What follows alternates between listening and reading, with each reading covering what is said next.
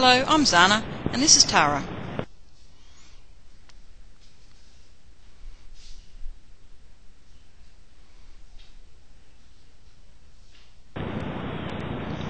I'm going to show you several positional release exercises, working with the front leg in flexion. We support the front leg to affect the shoulder, the scapula, and the mid-back.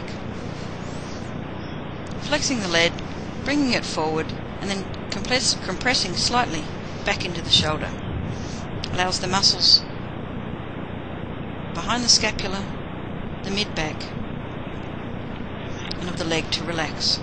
Placing the leg down enables the horse to rebalance itself.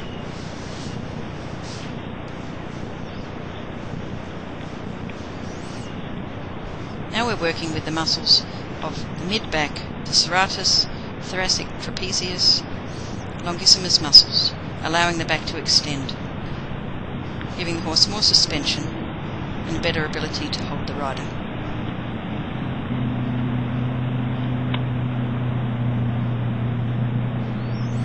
From here we can have a look at the neck, looking at the mid-neck, finding the third and the fourth cervical vertebra, and be bending the head in a side bend around the fourth cervical vertebra and applying some slight compression onto the head to allow the neck muscles to relax.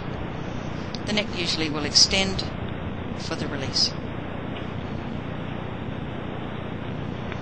The lower vertebra, sixth cervical vertebra, moving the head away from the position to allow the vertebra to line up.